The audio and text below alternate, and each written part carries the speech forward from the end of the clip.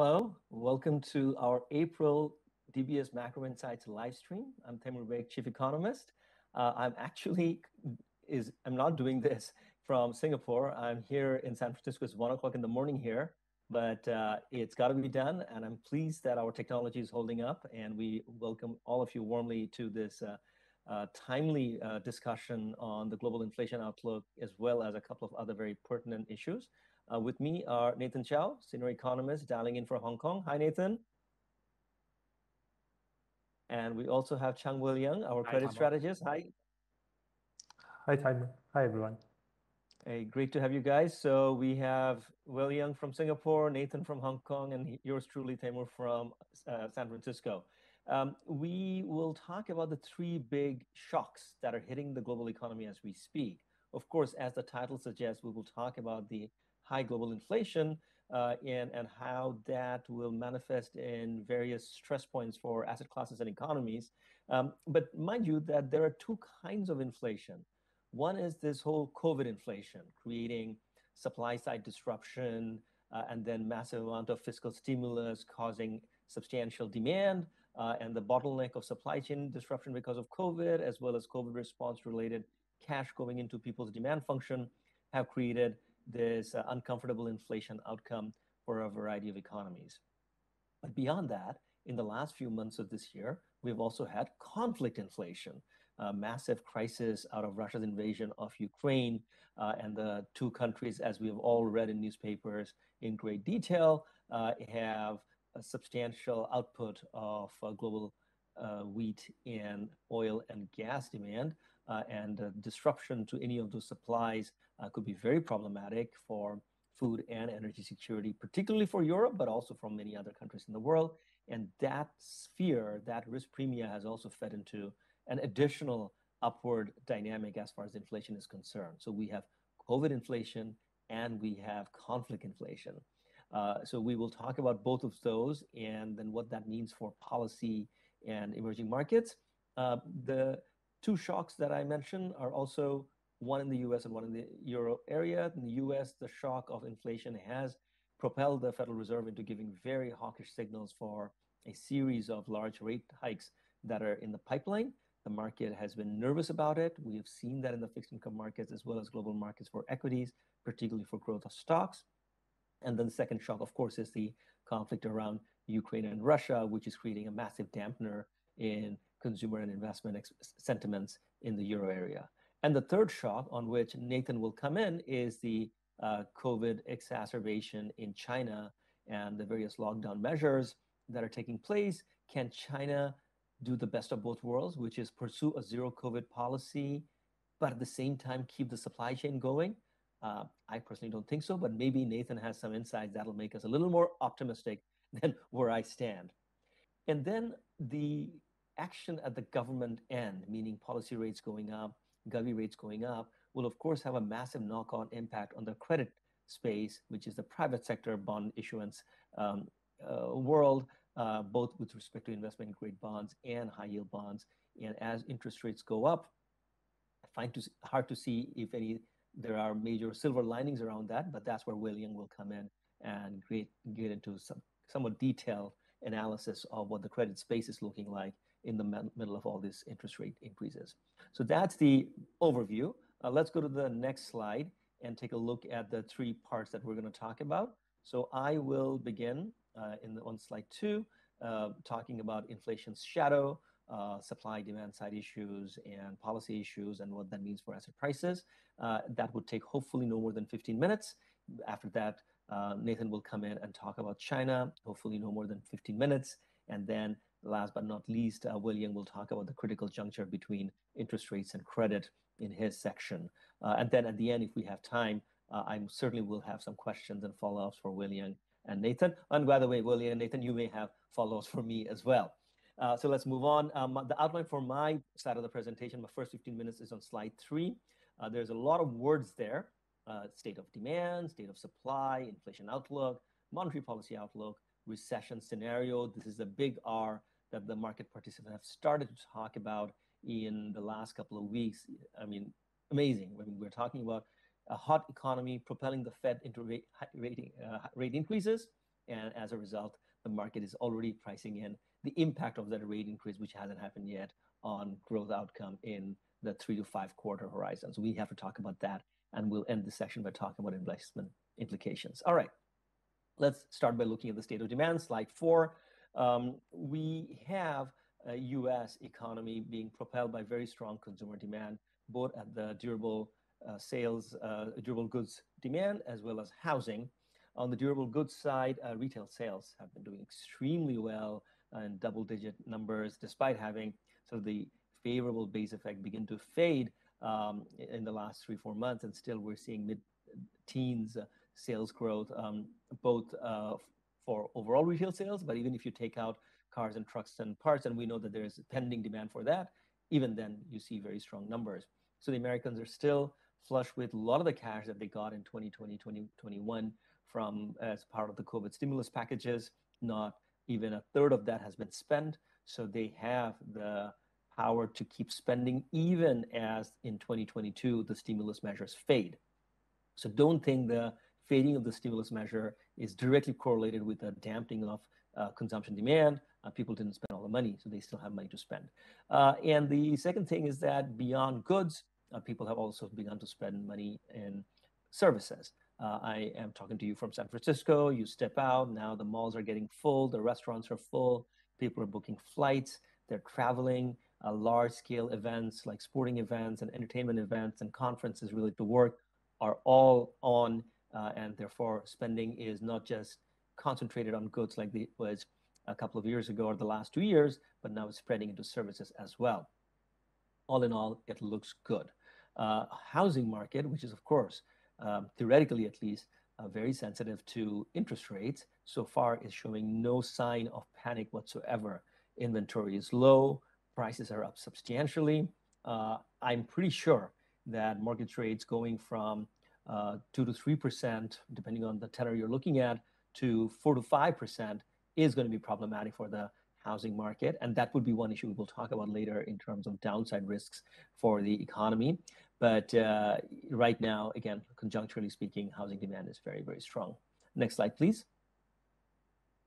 Um, a little more on the state of demand. So we talked about the housing market, we talked about retail sales. Uh, of course, all of this is being propelled by very, very strong Uh, labor market dynamic. I have surveyed the restaurant industry in my own little small sample survey in the last 24 hours in the Bay Area. And if you work at a restaurant, if you're a waiter or a hostess or a host, at the front of the desk, you are making 20 to $30 an hour. Amazing numbers. I mean, these were not numbers that we saw even a couple of years ago. Market is very tight. Unemployment rate is down to 3.6%. I suppose, you know, basically back to the best of what we saw in the pre-COVID times. And uh, unlike the pre-COVID times when wage growth was muted, we're talking about five, six percent wage growth overall in the market, with hospitality industry in particular seeing uh, high double digit, you know, 15, 20% increases, uh, while construction and other areas more like five, 6%. So some of these wages are keeping up with inflation, some are not, but overall, nominally speaking, we're talking about on the hottest labor market uh, wage demand uh, from uh, the wage earners and just hiring demand from the employers. Um, the next chart is not, not necessarily only about the US, but we're putting in the data surprise uh, numbers for Eurozone, China, and the US. China had some anomalous, uh, hard to understand data releases earlier uh, last month, which led to massive upward surprise. Uh, I think I'll let Nathan talk about that later. Uh, we are a bit unconvinced by that pop. We think that the Chinese economy has quite a few headwinds, but in the US and Eurozone area, there is still some positive surprises, but I think we can all safely say the, the outlook, particularly in the euro area, is looking pretty dire around the energy shortage that is looming. Next slide. Um, now, in terms of outlook, again, the first slide I have on this chart, or the first chart I have on the slide, I'll repeat it a little later because it bears uh, scrutinizing in a different context. But here you can just see that input costs were beginning to ebb for a while in the IFSM manufacturing survey. Now, again, uh, they've gone up um, on the back of energy spike. We're talking about core PCE at about 5.5%. I think is going to top out soon simply because there are some very strong base effects in play, but sequentially, we're not going to get any breathing room anytime soon. Uh, so broader commodity prices. I'll talk about a more granular commodity a little later. Uh, they are up uh, not a lot by historical standards. I mean, if you invested $100 in gold in 2010, you'd just be about 175 today. So 75% return over 12 years is not you know stuff of dreams. The stock market has done 2x or 3x of that. Um, and similarly, if you talk about industrial metals like uh, copper or crude oil, again, we're talking about no more than 50, 60% increase over a 12 year horizon. It looks a lot right now, but both in real and nominal terms, we are not strangers to what's happening in the energy and commodity markets, despite the COVID risk premia as well as the conflict risk premia getting embedded in these things. Okay, beyond the inflation outlook, uh, next, next slide, please. Uh, we, we need to sort of contextualize the supply side. Uh, firstly, um, the big bottleneck, which was moving goods from China to the US, which was proxied heavily by the Shanghai to LA container rate, but also there are these overall indices you can get, the Shanghai Freight Index, which is like a composite of 13 different freight rates of moving goods to various parts of the world, from Holland uh, to uh, US, uh, East Coast, West Coast, etc. Uh, that looked extremely worrisome uh, late last year. It took cost $12,000 to move a container, a 40 foot container from Shanghai to LA. Things have come down a bit. Uh, LA ports are functioning 24 7. demand probably is not as substantial as it was, and supply related disruptions have eased a bit. Uh, but then again, Nathan will have to come and tell us that it's not going to go back up on the back of various port shutdowns. Or maybe the ports are running despite the lockdowns in the city. Uh, but there are other shipping rates uh, which suggest uh, not just a question of supply, but also a question of demand. Uh, one would be proxied by the Baltic Dry Freight, which is um, basically the rate that the Chinese importers pay for various uh, dry freight that they import. that peaked in late 21 and has come down sharply I think that just reflects subdued demand in China as reflected in the weakening of the manufacturing PMI below 50. I'm going to stop talking about China. That'll be Nathan's job later on. Slide eight.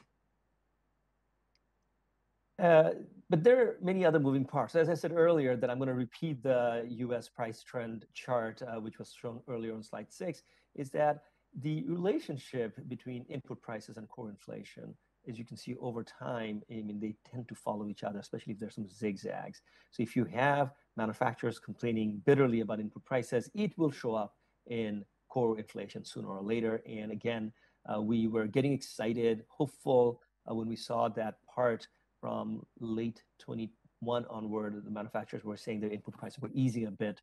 But just as COVID inflation ebbs, we get conflict inflation, which sort of creates this problem right now. And, uh, and also similarly on the commodity side, uh, there are issues to worry about that, uh, you know, as a hedge, maybe gold makes sense, uh, but why are we seeing such spike in oil demand? Uh, probably not. More, more likely it is reflecting supply side uncertainties. Okay, let's move on. So as I said, that you know there are two kinds of inflation. There's a COVID inflation. There's a conflict inflation. I think supply side issues, COVID related uh, boost to demand because of stimulus expenditure, all of those things were very, very well priced in through the course of 2021. Uh, so what about 2022? I can say that we can sort of separate the COVID inflation from conflict inflation if we just look at the year-to-date price evolution because the Ukraine conflict really manifested in January, February, and then had a full-blown, uh, you know, playing playing out uh, through late February, March, and then spilling into April. So year to date, uh, we have some serious commodity inflation. So ignore the earlier chart where I said historically these are not extremely worrisome numbers. Yes, that's true, but it's not only about history, it's about near term developments and near term expectations. And if we're going to have uh, prices of gas oil and nickel and natural gas rise by 50 to 70% in the first three and a half months of 2022, we have some serious problems because this will pass through to a wide range of prices if they don't come down. So a resolution to the conflict in Ukraine is absolutely critical if we're going to get this conflict risk premium dissipate and bring us back to again looking at sort of normal inflation. These sort of numbers are not normal. These are, you know, very stressful for the market. Traders get uh, margin calls, positions get um, uh, liquidated. Um, you know, bad things can happen from trading firms to speculators. Uh, and of course, real economy can be impacted very badly if these sort of things persist for month after month. Uh, I mean, look at the middle part of this chart. It's not just about metals and energy, uh, corn, cotton, wheat, uh, these prices, soybean, these prices are also up between 20 and 40% in the last three months. That is not good. Uh, harbinger for major social unrest in the countries where these are important inputs for uh, feedstock, for bread, for staples. Uh, people don't like everyday purchases, prices going up by 20, 30%. We saw this in the context of Arab Spring. A big driver was the big drought in the preceding two years in Syria and elsewhere, and the spike in bread prices. Let's hope and pray that similar things don't happen again and we don't see uh, mass demonstrations on the streets of Asia and Africa and the Middle East, uh, which, which can be very, very negative for the global outlook, markets, economy, societies, everything. Um, move on to the next slide. the uh, you know news reports are are not just for analysts like us and investors like you. Everyday company owners, small business owners, they're also seeing what's happening, uh, and and it is manifesting in their behavior. So I have from you from the U.S., but you know these sort of surveys are now can be replicated for anywhere in the world. These shocks are common. People are behaving and responding more or less the same way, which is why we're not just looking at inflation going up in the US, but all over the world. Uh, NFIB small business survey pricing question Are you planning to raise prices in the coming days? Are you raising prices right now? And in both of these cases, more than 50% have been saying, Yes, uh, I'm planning on raising prices and I am raising prices as we speak. In fact, I am raising prices as we speak, is close to 70% of the respondents a little mild source of comfort that the person uh, who will be uh, raising prices now, um, you know, will be raising prices down the road, have come down just a tad, but these are still extremely uncomfortable numbers, numbers that we have not seen in the last 20, 30 years. So this is like you know 1970s style situation. And the thing is that if everybody's planning on raising prices, then the question of expectations getting affected, of course, come in. And uh, if your input prices are up, which is the right-hand side slide, black line, uh, then sooner or later, uh, the red line, then of course, you know, you are going to start thinking about uh, how much you charge, uh, which is the black line, the prices received part. So if you are paying a lot, you will start receiving, by meaning charging more so that you receive more. Uh, so that, that gap is substantial and worrisome. And uh, of course, from the Fed to other government monetary policy bodies, everybody is very, very worried. next slide, please. So inflation outlook for the U.S. Uh, you know, I have to confess that I've had to revise up my forecast repeatedly in the course of the last six to 12 months. Um, the, the base effect related discussion, the COVID inflation fading, transitory factors, all of those things were contemplated and unfortunately had to be ditched as the inflation dynamic turned out to be very, very strong. So people like Larry Summers are clearly having an ascendancy as far as their arguments are concerned, because their point a year ago when we were all looking at rather depression-like scenarios, his argument a year ago was we're actually overstimulating the economy and this will manifest in inflation. And uh, not many people bought that argument, myself included, uh, but Mr. Summers is a very smart person, clearly um, is uh, got his pulse on this issue pretty well, more ahead of Federal Reserve and most analysts. Anyway, uh, even then, uh, the base effect cannot be denied. Um, we had a big jump in inflation a year ago or and then that will start pushing down the year-on-year calculation for inflation, even if sequential inflation remains strong in the coming months.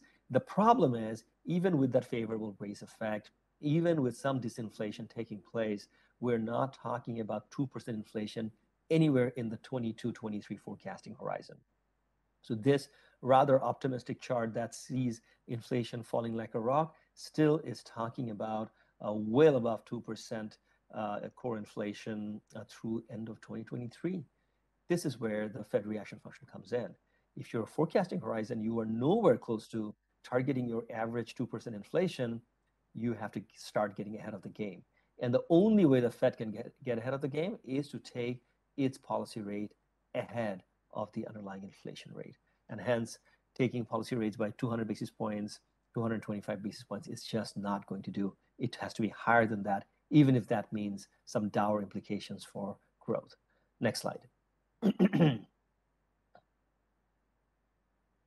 so we think that the Fed is now on course to hike quickly, substantially, 50 basis points rate hike in May, and maybe again 50 basis points rate hike in June. Rate hikes will continue. Uh, also expect expedited tapering, which has begun and will probably end by June. And at some point late next year, this year and early next year, there might be also discussions about starting to, um, you know, not rolling over assets, uh, allowing them to expire, uh, and the cash to come back to the Fed, meaning quantitative tightening. We will see how the economy does before the Fed starts contemplating that, but it seems to be very much on the cards. So we are now slightly ahead of consensus. I think consensus is looking at a terminal Fed funds rate of about 3%. We think it would probably have to be about 3.5% by mid 2023. That's a massive amount of interest rate increase between now and then. Uh, will create lots of volatility and turbulence in global markets. You can count on that. Uh, slower growth and uh, a period when we have a bit of a stagflationary situation where growth is slowing, but inflation is high will probably be also likely on the cards in the next two quarters or three quarters. Move on to the next slide. Um, sorry, next slide, please. Thank you, 13. Uh, so yes, growth will be affected. Um, we were thinking about 3.5% growth in 2022. We have revised that down to 3%. We were probably thinking about uh, close to 2.5 to 0.6% growth for 2023. We are bringing that down to 2. We will recognize considerable downside risk around even this forecast uh, because it's a lot of interest rate hike. It can affect demand quite expeditiously. Uh, two areas. Uh, one is, of course, the asset price. Higher rates could cause a major correction in equity prices worldwide, particularly in the US, where valuations are very high. That could lead to negative wealth effects and affect consumption and investment sentiment. The second one is, of course, housing. Uh, leverage ratios are not worrisome, but again, you know, 200, 300 basis points shock to the mortgages when everybody has been lulled into the comfort of extremely low mortgage rates for over a decade could be problematic for home building, home renovation, appliance purchases, and of course, overall real estate transaction. So 3 and 2% growth in 22 and 23 in response to the higher rates uh, and uh, with some downside risk. Uh, we're not very worried as far as US households are concerned because A, they are flush with cash, they haven't spent all the COVID stimulus money. Secondly, their leverage ratios are lower. Uh, you can see in the second uh, right-hand slide, households had close to 100% debt to GDP ratio in the lead up to the global financial crisis. It's below 80% now. corporates have levered up a bit since then, but their profitability, cash flow are, are you know, by and large uh, looking very healthy right now. So I think the shock absorption capacity is still there. Next slide. Now comes a deep question are we going to have a recession? Uh, is the yield curve, the 210 spread, uh, which is sort of, you know, flirted with negative territory the last week or so, and probably is going to head in that direction. Does that mean, you know, we're heading into recession? Well, a couple of answers to that question. Uh, negative slope does not mean imminent risk of recession. Eventually, there's always a recession, but that doesn't mean that it's in a 12 to 18 month horizon. I mean, just look at the late 1990s, for example, uh, yield curve flattened substantially through 97, 98, 99. Um, but till the dot com bust came all the way in 2001, uh, you could have been expecting a recession immediately or 12 month horizon, and you would have been wrong for about 36 months or even 48 months uh, before it actually came. Uh, similarly, there are times the yield curve turns negative, turns positive again, and then turns negative, and then you get the recession. Uh, this is the late 80s, for example. So just don't think that it becoming negative today means you know imminent recession. In fact, uh, when you look at, for example, the New York Fed's recession model, which does not use the two-10 spread, but the three-month, uh, slide 14, uh, thank you, uh, the, the three-month to 10-year uh, 10-year slope, uh, that is still indicating a very healthy slope and um, not much risk of recession whatsoever. okay, that's just you know reading from the yield curve. But what about beyond that? Let's go to the next slide. Slide 15, please. Thanks. Um, that even if growth slows and rates are not going to come down, rates will remain elevated. And On the back of government rates being elevated, we will see uh, risk premia widen, spreads widen, uh, some degree of you know unease in the markets with respect to the outlook, all of those things are likely. What do you do with investment under that circumstances? Well, you can still extract quite a decent return from short duration bonds. Maybe you went long short duration bonds a year ago, very smart of you. Then maybe you should be taking some profit now because maybe they have gone as high as they can.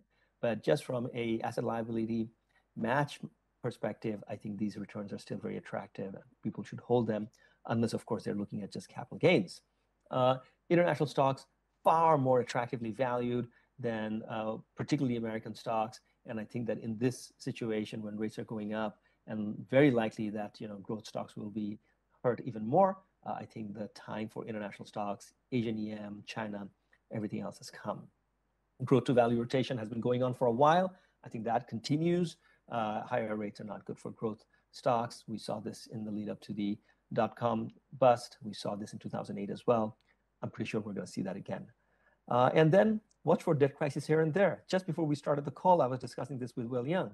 We have all sorts of things uh, with um, uh, Sri Lanka, um, of, of, course, Russia, uh, Argentina, um, you know, Pakistan, you know, country after country, already we're talking about risk of default around conflict and on balance of payments difficulties. Uh, and that will be a feature for the rest of the year. See a lot of stress in emerging markets. We are, of course, not particularly worried about um, Asia, uh, particularly East Asia. We think that uh, export demand is strong. Uh, inflation is not as big a headache as it is in the West because demand was never that strong. Stimulus measures were not that strong. But of course, you know, uh, that doesn't mean that if there is debt crisis elsewhere, it will not hit uh, there. Contagion risk is, of course, very much there. So keep an eye on all that. It's a um, plethora of risks out there, but in terms of asset price implication, uh, sovereign uh, contagion from some non-Asian uh, crises or some non-East Asian crises are probably going to be something that we have to worry about going forward. All right, uh, I think that's the end of my set of slides. I'm sorry I took a bit longer than I was supposed to, but there are some serious issues to consider here. Uh, so anyway, without much ado, uh, slide 16, that just says that I'm done and it is time for Nathan. Nathan, all yours. Thank you, Taimur, and good afternoon, everyone.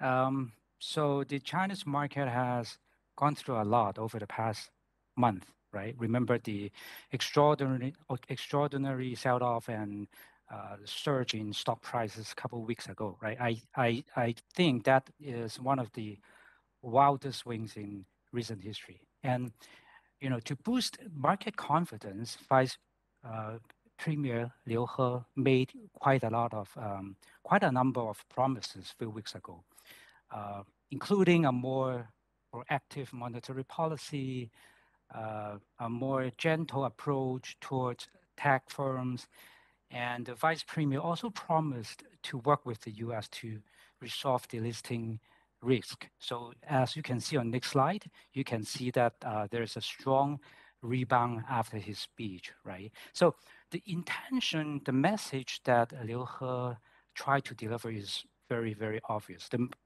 the government would not just sit on their hands to let the uh, market plunge, to let the economy to deteriorate further. And the timing is also very, very important because the NPC just announced the 5.5% GDP growth target, right? So you can see the speech of Liu He has set off a stunning surge, right? And the government indeed take some follow-up actions. They have, for instance, revised some listing rules, allowing U.S regulators to gain access to auditing reports of those Chinese firms listed in New York. So you can take that as a uh, um, compromise that shows Beijing's willingness to balance national security concerns at the time when the economy faces a lot of headwinds. All right. Uh, so that's why stock prices of those companies listed in the US rebounded quite notably, like uh, Pinduoduo and uh, Didi Global. However, this is not enough, I guess. Investors are right now expecting more and more policy support. Otherwise, the sentiment could uh, quickly fizzle out. And actually, the real economy definitely needs more, especially given what's happening in Shanghai. Next slide, please. So contrary to San Francisco, Taimur, streets right now in Shanghai are empty, literally empty. Shopping malls are empty. 25 million people have been requested to stay home since the last week of March. They cannot even walk their dogs, and some of them has to have to rely on local government for food and daily supplies. All right. So you can see that the traffic chart on the left, uh, the red line, which shows Shanghai literally zero, right? So obviously the consumption sector is bearing the brunt because everything right now is closed. And because Shanghai is one of the richest regions, it ranks second in terms of GDP per capita, like something like 24,000 or 25,000 US dollar, right? And the fact that Shanghai is the largest contributing city to the country's retail sales, something like 4%, 4.1, 4.2, right? So the lockdown will hurt the consumption recovery, which is already weak. Okay, so that will obviously hurt the rental income of some major landlords. Uh, some of them uh, uh, might have to offer, uh, for instance, rental concessions for their tenants. All right. Uh, so this is what's happening on the um, on the consumption front, and on the other fronts, uh, some positive things happening. Good. One of the good things is that the Shanghai's port, which is the world's largest, remain operations. So you can you can, you can take that as a as a policy tweak by the Chinese government. It is tweaking its um, zero COVID policy in order to minimize economic disruption. So just like what happened in Shenzhen, they adopted a so-called closed loop system, meaning workers are being uh, transported from their dormitory to the factory and back. So two years ago, if you can still remember, all factories were shut down for months, right? But that is not what is happening right now in Shanghai. So that is one of the good things. However, that doesn't mean business as usual. Okay, I actually talked to some of our clients. For instance, one of them is a car maker. They have exactly adopted the closed loop model. Uh, but the thing is that their production right now is something like two thirds of that before the outbreak. So you can still feel the impact. All right. And even though, just like what I mentioned, the port remains open, uh, some warehouses are closed, logistics are not functioning normally. One of the issues right now is that truck drivers entering or leaving the city, they got to present a negative test result taking, uh, uh, taken within the last 48 hours. So some of them, some of the drivers just do not want to go to Shanghai because of the risk of having to quarantine on their return, all right? So um, another thing is that in China, there is a uh, contact tracing system, a large scale system. If you had close contact with someone who tested positive, you'll be uh, quarantined, you'll be isolated. So that's another reason uh, that will keep some people away from work for quite a while. So that means in the several weeks ahead, uh, we'll be seeing some sort of labor shortages uh, that will in turn lengthen delivery time. Uh, you can see that on the next slide, meaning supply chain backlogs will sort of persist for quite a while, even after the city reopens, right? So the left chart, the left chart here shows uh, the PPI already uh, shows delivery time uh, deteriorating for quite a while, but it has not the red line, it has not captured the full picture yet, has not captured most of the blow from the Shanghai lockdown. So we should expect this red line here to head south further.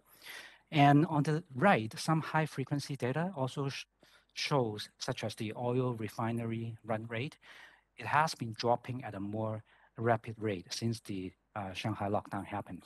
All right. So this is another indicator show uh, uh, showing production will be under some sort of pressure at least in April, right? Uh, so let's keep our finger crossed uh, that things will get better in May. Uh, but the thing is that just like what I have been, we have been mentioned over and over uh, in our past webinars, COVID is one of the biggest uncertainties facing the Chinese economy. Unlike the US, Federal Reserve is the biggest uncertainty, like how many interest rate interest rate hikes there, how fast the Fed is shrinking its balance sheet, right? But in China, COVID is the biggest uncertainty because Beijing is sticking to uh, zero COVID policy that increases the near-term risk to the economy. So if uh, Liu He, if the vice premier really meant what he said, if he, uh, I mean, if the government is serious about the 5.5 growth target, they got to do more. They got to ease more in terms of both fiscal and monetary policy, including unwinding more some of the property curbs. Because at the end of the day, the property sector accounted for close to one third of the country's GDP. All right. Uh, moving on to next chart, I put up some charts here to show you to show you the latest development in the property sector. M most of the leading indi indicators shows that uh, related activities uh, remain kind of uh, subdued, sluggish. All right, and um, even though home prices have been dropping, home sales have been declining still. It failed to attract uh, prospective buyers.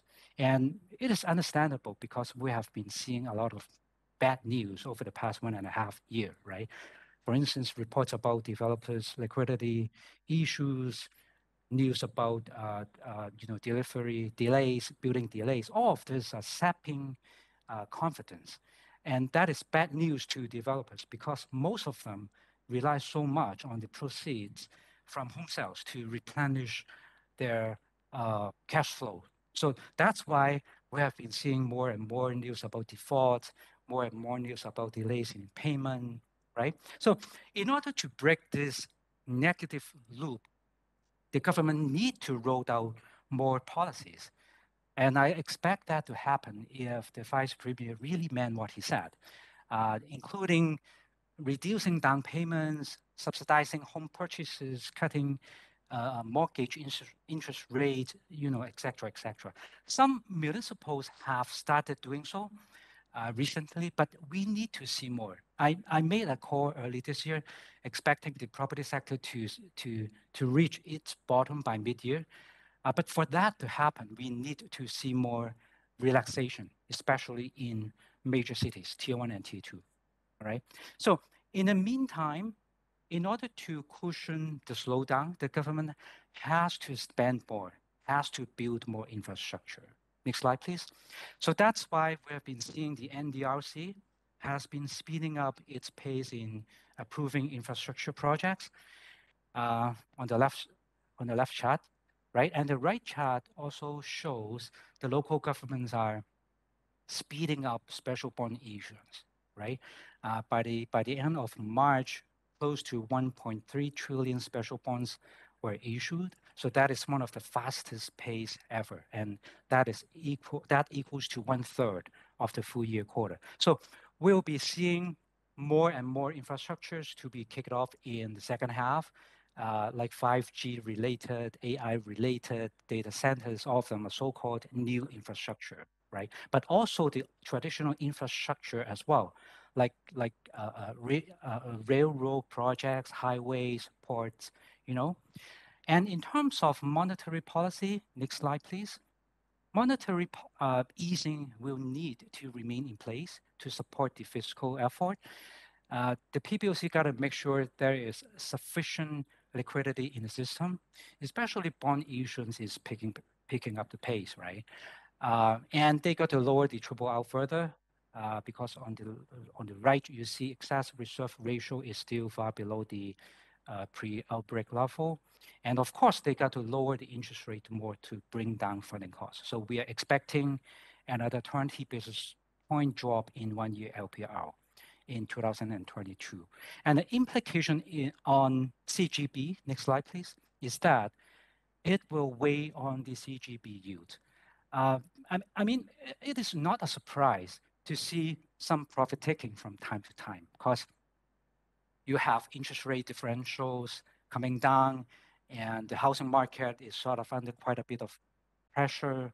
So that actually partly explains the sell-off in February, right? But the bottom line is that even the spread between the US and China Uh, uh, to shrink further, or even the CGB is to trade below the U.S. Treasuries for a while, I do not expect there will be a massive capital outflow.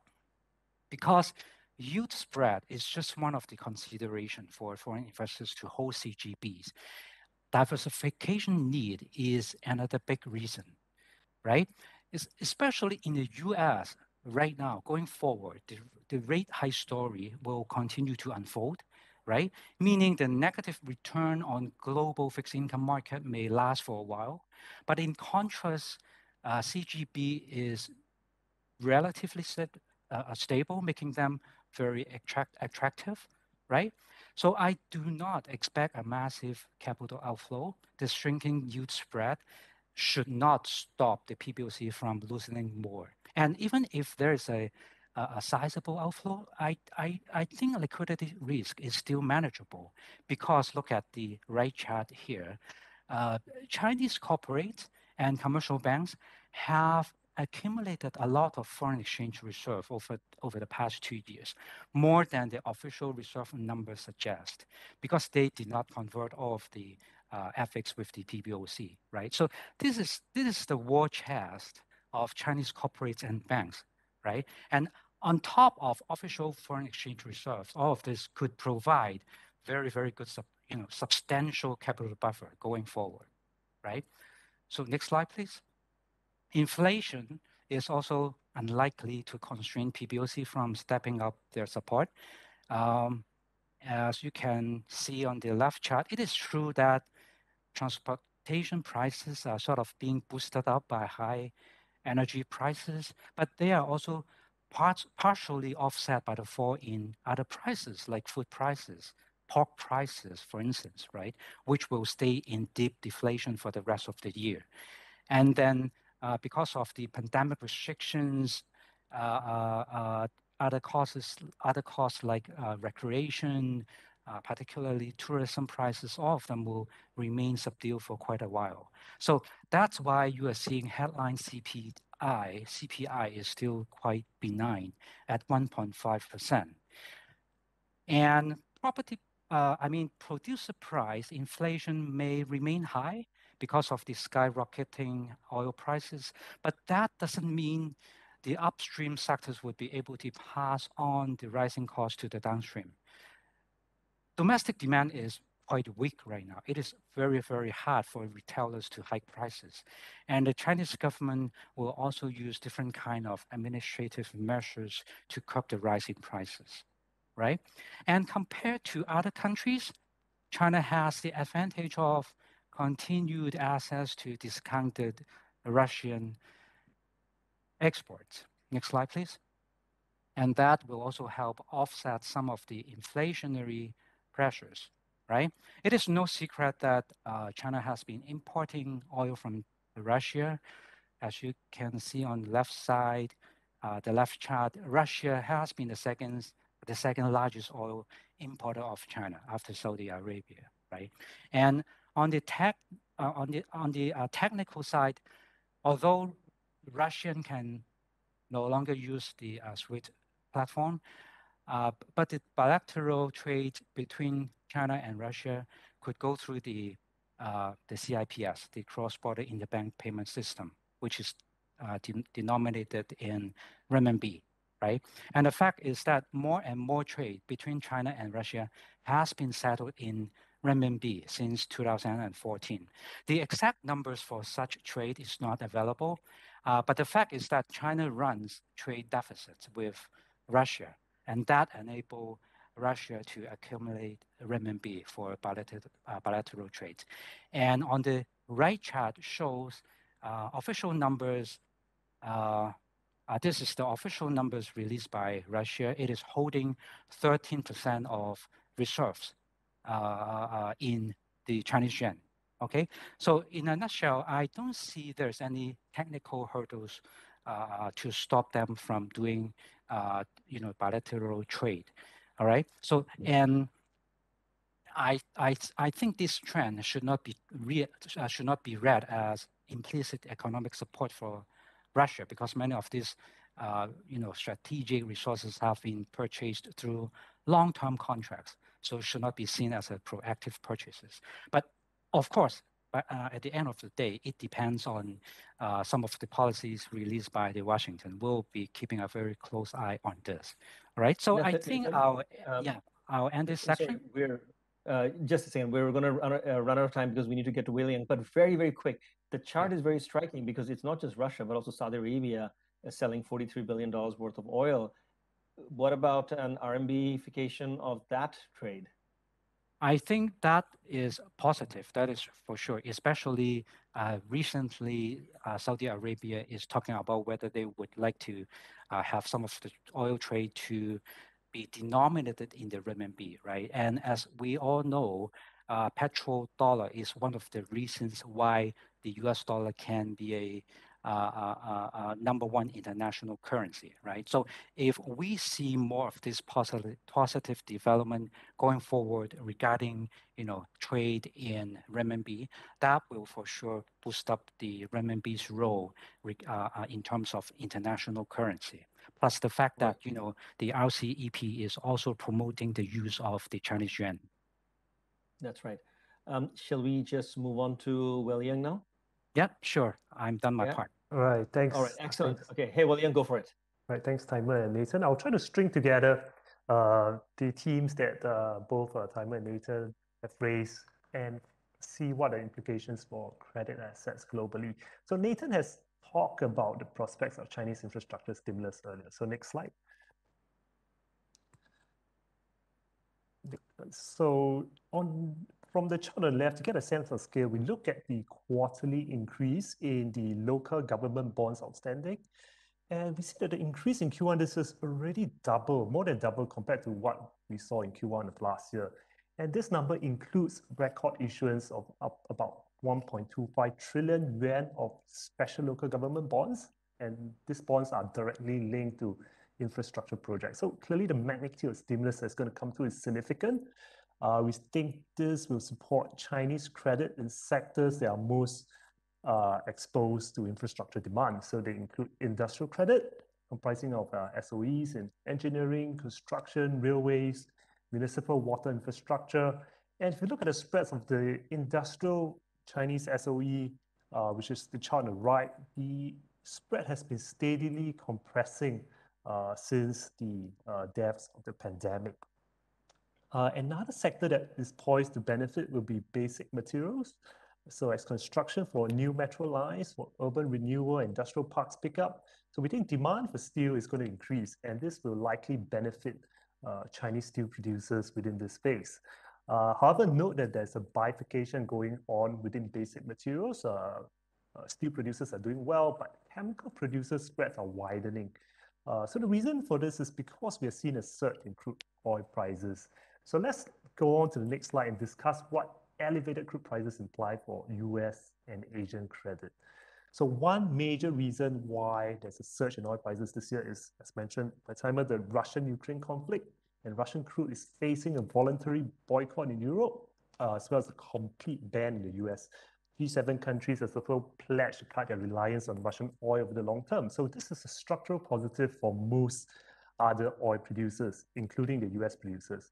So let's go back and see what US producers have been doing uh, in terms of their production throughput, right? So the chart on the left, uh, we've seen uh, that the, the a number of US rotary rigs, although they have risen from their pandemic lows, uh, they're still well off from pre-pandemic levels. In terms of US crude production, they have only increased by about 10% from their average production level in 2020, and it's very far below it's still quite far below its 2019 peak production. Uh, so why is there such a slow recovery? So if you look at uh, the amount of defaults in the energy sector, so that those are the gray bars on the chart, you've seen that due to the pandemic, there was a huge wave of energy sector defaults. And because of that, the survivors are now much more financially prudent than uh, in the past. So uh, what we're seeing is there's been increased capital discipline with the shale oil firms focused on paying down debt uh, rather than expanding production. Uh, second reason is that there has also been a pause in sales of uh, oil and gas leases on federal lands in the US, partly due to regulatory oversight. So overall, we see high capital discipline, slow output increases, and that structural demand shift away from Russian oil to bolster credit for the U.S. energy sector, particularly the high-yield credit uh, energy uh, sector. So this is because exploration and production, or E&P firms, form the largest proportion of uh, U.S. high-yield energy credit, followed by midstream firms. So both of these upstream and midstream firms will benefit going forward. So some of these high-yield firms are also fallen angels that were downgraded to double B during the pandemic. So there's also a chance they could be re-rated back to investment grade. So that's going to provide some scope for upside. So the picture is a clearly positive one for the U.S. Now, what about implications for Asian energy credit? So moving on to the next slide. Uh, we think that there may be a more nuanced and differentiated outcome in Asia. So the reason is because most Asian energy credit are from the national oil companies, and they tend to be heavily integrated across the value chain. So there are contributions from profit coming not only from upstream E&P, but also downstream refining and marketing activity. So there are only one or two Indian uh, NOCs that are more E&P focused. So we have to consider how are refining margins going to behave uh, in an environment rising crude prices. So if you look at the chart on the left, uh, the gray line shows the um, price of Dubai crude, which is the relevant benchmark for Asian energy trading. And we've seen the prices have surged quite a lot from $80 per barrel and at the end of last year to now about $100 per barrel. Uh, and this red line shows the gas oil crack spread over Dubai uh, crude. So it shows the refining margin. Uh, so gas oil, they are middle distillates. They are used for motor fuel. So the combination of rising crude oil prices and the rising refining margins show that pump prices are going to rise quite a fair bit in the coming months. Um, so the question is, why is there a jump in crack spread or the gas oil crack spread? Uh, the main reason is due to supply disruptions. Uh, European refineries, they have stopped production because uh, they have completely stopped importation of Russian crude. This is creating a shortage for distilled products in the industry. But over the longer term, it's hard to see these refineries being left idle, right? So there will be more competition from Europe for Middle Eastern crude as a replacement for Russian crude. So in this case, the very high margins that we're seeing in refining could come under pressure and could normalize in the coming months. And given that the current rise in crude oil prices is due to a supply shock and not demand, uh, not increased demand, so it's very unclear if the crack spread will show the usual positive correlation with um, crude oil prices as in the past when demand uh, tends to support both uh, refining margins as well as crude prices. So another issue is also to do with the fact that in some of the emerging Asian countries, Uh, fuel prices are dictated uh, by uh, government policies. So the pace of fuel price adjustment will have an impact on downstream marketing profits as well. So just recently, Indonesia's state oil company has um, has been able to have a hike, 92 octane petrol prices by 35%. So that's a very significant hike, completely eliminates um, margin pressures for them. But for the rest of Asia, Uh, the adjustment has been a bit slower. Indian palm prices are being revised up uh, after a four-month freeze, but at a relatively slow pace. So the prices are higher by about 10%. So given the uncertainty and demand response uh, and the fact that this crude oil jump is really due to supply shocks, we think headwinds on the downstream sides of the industry will continue to remain. And that's probably mean that Asian energy credit spreads will see a more nuanced outcome Uh, compared to the U.S. Right. So finally, moving on to the last slide that I have, I'll end with a comparison of how uh, credit spreads, uh, the performance of credit spreads in predicting a U.S. recession. We know the U.S. two-year, 10-year spread often precedes a recession. Whenever the flat turns to zero to negative levels, they tend to imply that recession is going to come through. This was true both in 2001 and 2007. But if you look at the triple B rated U.S. corporate spreads, so triple B bonds form the largest proportion of the U.S. corporate bond market. So you know that the spreads actually did not give a very good performance. So back in 2001, uh, spreads did rise a little bit ahead of the recession. Uh, but in 2007, spreads were actually very close to cyclical lows heading into the recession. And that's partly because the stresses back then originate in the housing market and not in the corporate, uh, not from the corporate side. So uh, from that point of view, spreads does not seem to be a very good uh, indicator of whether recession likelihood has risen.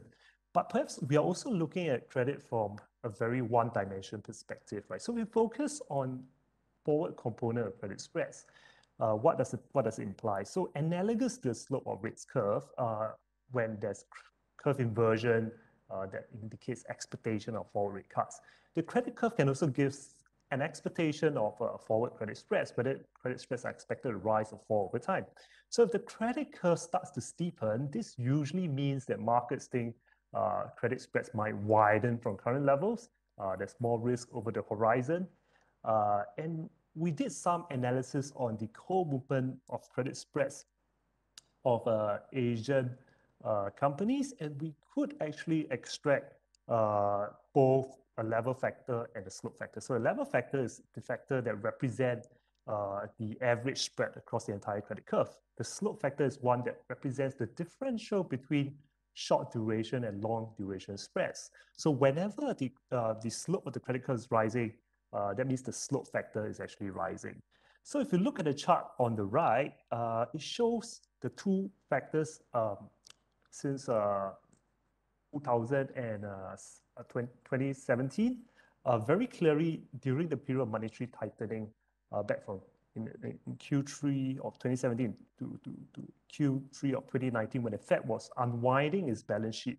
Uh, uh, we see not just credit spread levels rising, but also the slope of credit spread increasing quite significantly during this period. So markets were actually anticipating some slowdown in Asia arising uh, from uh, the Fed's policy tightening at that stage. Um, so let's look at how uh, spreads have performed in the most recent period. So the slope factor has also started to rise from its uh, uh, from its low back in uh, January of 2021. It has risen quite significantly, indicating that perhaps risks are starting to appear over the horizon. So that's one reason why we think a more cautious stance could be warranted for Asian credit markets, especially given that the overall level of spreads still quite near to cyclical lows.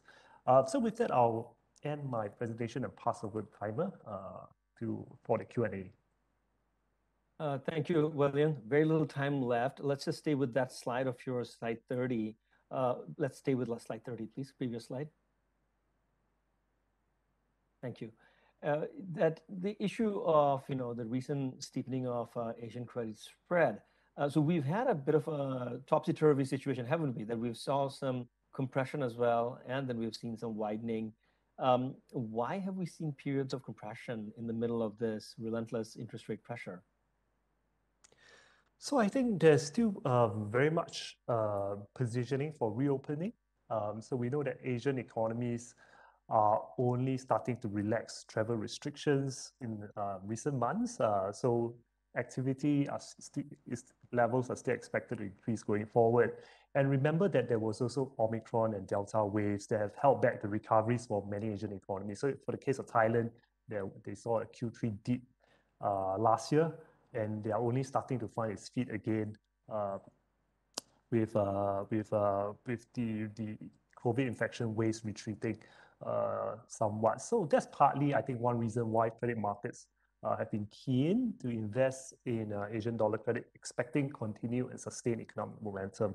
But I think the picture is a bit more complex now with the Fed uh, nudging markets towards expecting, firstly, a faster pace of uh, rate hikes, and secondly, a faster pace of uh, balance sheet reduction. So the risks are definitely uh, rising over over the near term. But for now, I think markets are still somewhat focused on uh, on on the upside from potential uh, recovery in economic activity, and that's one of the reasons why you know when during the Ukraine Russian uh, conflict, when spreads generally rose very fast in the immediate aftermath of the news, they have steadily compressed since then.